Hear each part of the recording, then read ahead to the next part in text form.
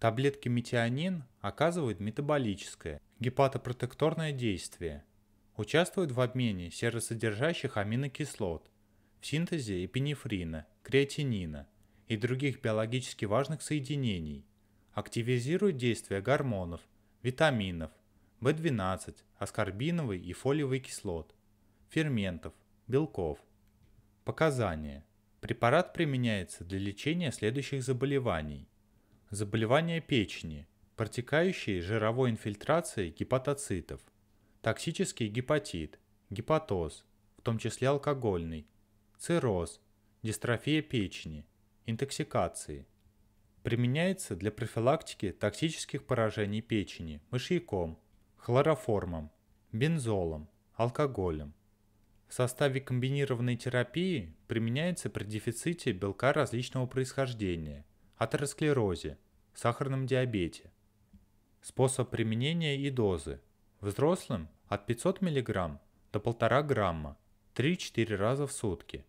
Разовые дозы для детей в возрасте до 1 года 100 мг, в возрасте от 1 до 2 лет 200 мг, в возрасте от 3 до 4 лет 250 мг, в возрасте от 5 до 6 лет 300 мг, в возрасте старше 7 лет 500 мг.